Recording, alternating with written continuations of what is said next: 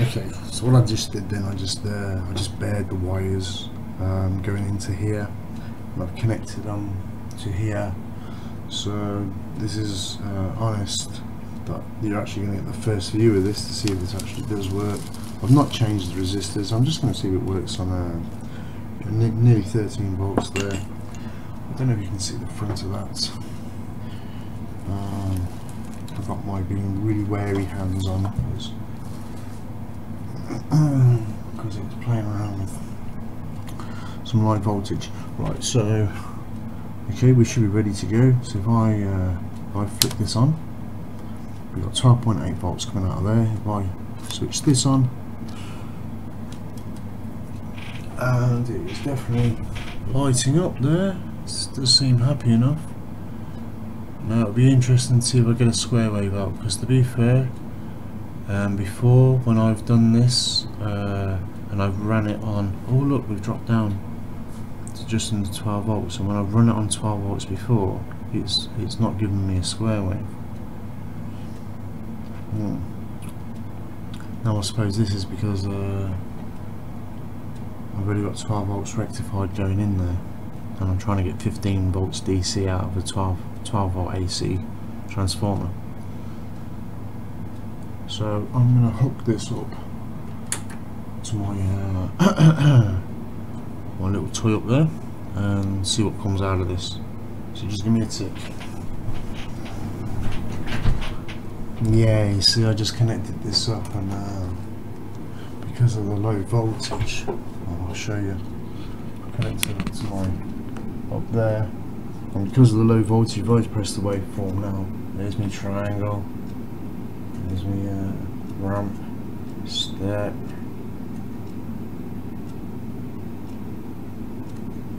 sine wave square wave nothing. This is because this hasn't got enough voltage for the square wave. It needs it's 15 volts. So I've got to try and get this little hunk to give me 15 volts and it's not doing it. So I have to go in there and play with the resistors and see what I can get out of it. So I'll have to come back and try this again in a little while when I've played with resistors and maybe tomorrow because I've got to go to bed I've got to go, uh, go do some work in the morning.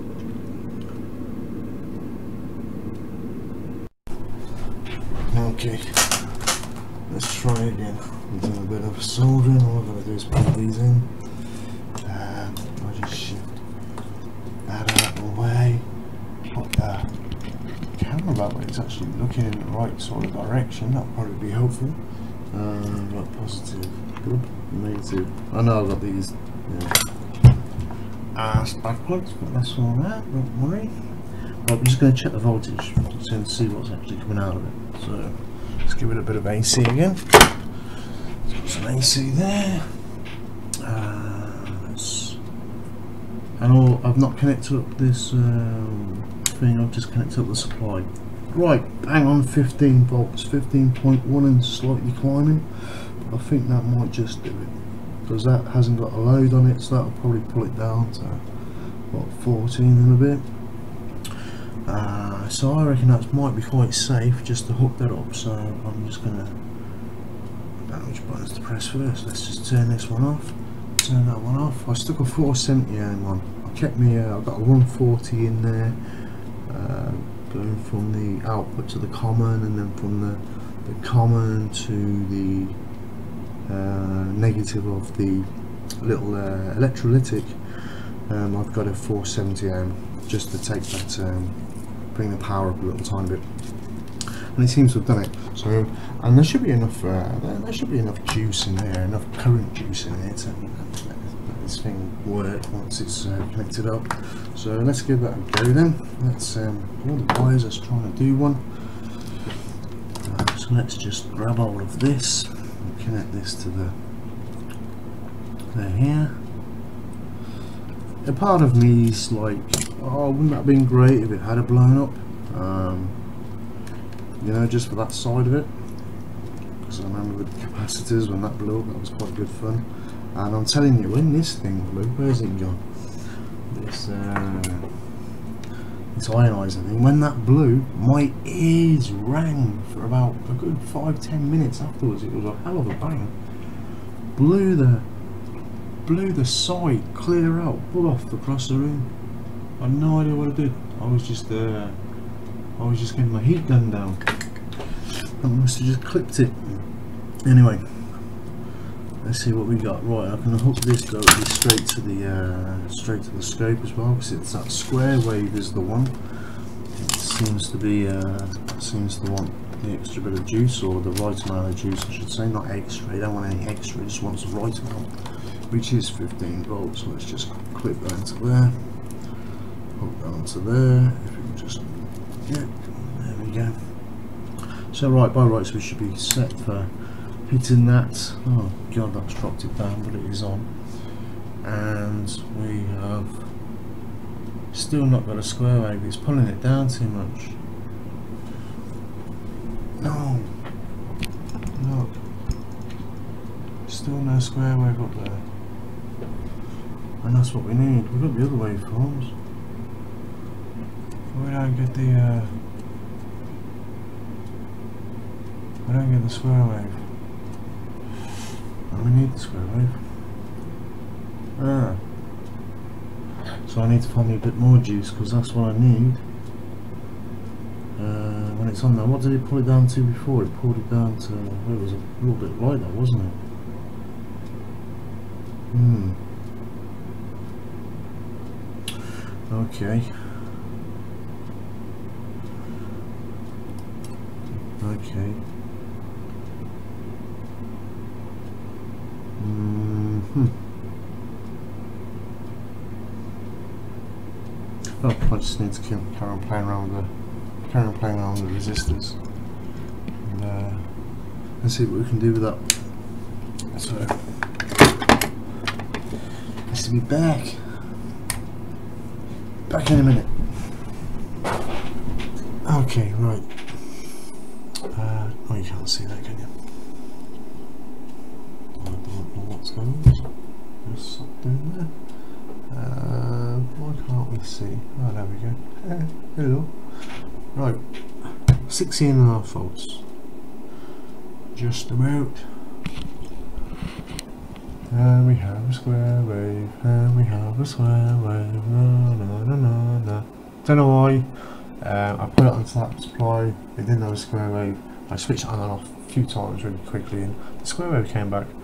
So I prattled around here. I put a couple of resistors together. I don't actually know what the value of that is now. Let me have a look what this is and I'll tell you what the volume Oh that's the 820, so that's got to be the 560 and uh, and and the and the 480 or something. Oh, can't see that. Regardless, it works. I put a heatsink on here because that was getting a little bit warm with a little bit of thermal paste. And we have square wave, 5 volt peak to peak, 22 hertz. Uh, and it's up there. And of course, it will let me change the waveform. Yep. Lovely. Lovely. Bit of a user. Back to the sine and the square. Lovely, ruddy chubbly. So, I suppose there's still, there's still a question remains, is that okay to do that like that? Yeah, because that's all I got. If I put on, why I want put anything down, look, look at this. Got a little full-wave rectifier there, even though it's only two diodes. We'll use those those two diodes and these two capacitors allow me to double the voltage from the power supply. So I get 20, well uh, basically because it's DC then, after it's been rectified through those two, I get 34 volts. 12 volt rectifier, dropping the resistors in between the output and the ground, uh, sorry not the output and the ground, the common and the ground, allows me to play with the voltage coming out of the regulator and so I've got it up. Well, it's, it's just in the 17 volts. Uh, let me turn this off. There you go, I was going to say it's around about 17 volts, and that's basically what I got when I turn off the, uh, when I turn that off. But this is what happens when I turn this on sometimes. It's got that. If I just switch it like that. It's not always done that. It's probably something to do with this supply. Some, some, some, some I'm doing. I'm pretty convinced of it. Um, but I'm more chuffed because every time now it's come back on with square wave, we don't seem to have any issues there anymore. It's not the cutest looking of square waves, but I have got this monitor on up here. Uh, you know, this light is a fluorescent, as you can see. Look, it's fluorescent uh, magnifying glass light. So uh, it doesn't actually make any difference to it whatsoever. The voltage is rel relatively stable, it's sort of flicking around there. I don't know, I've not really been watching it, but it does seem sort of stable-ish. We should be alright, maybe. And this is... That's not really warm now, I've put the heatsink on. The rectifier was getting a little bit warm. I'll put that heatsink on there. And save a bit of thermal paste. And yeah, that's alright. It's all a. If you look at the. I'll give that a little bit of a. But I that's going to be down to. Because I'm pushing it in now quite hard. Suppose that's going to be something down to the uh, the holes, the sockets, aren't they? The resistance, whatever. So. Pretty happy that's working. Uh,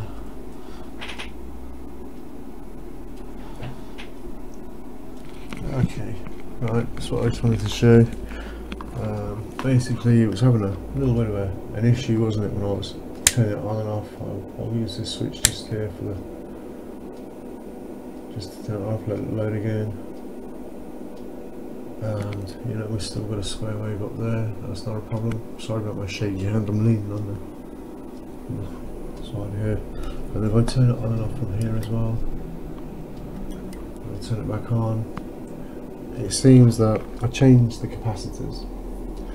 I put a 2200 mic Nichicon there and they are 220 mic Sanyos and that's a uh, 2200 again Sanyo there and that seems to have well, stopped it from being a bit weird at the start and I've still got my uh, still got my square wave only the waveforms, even though that looks a bit mental.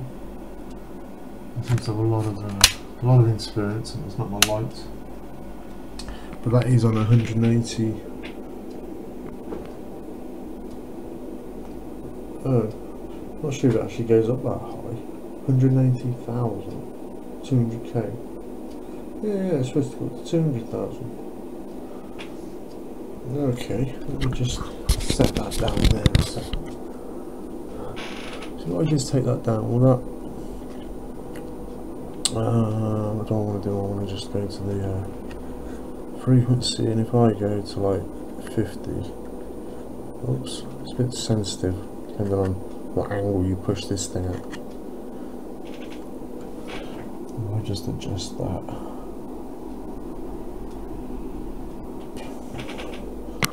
Just have a little look. That's a bit better. Uh, so I mean this isn't uh, the greatest of supply and I don't think that the actual battery, uh, the, uh, I don't think that's very much copper at all.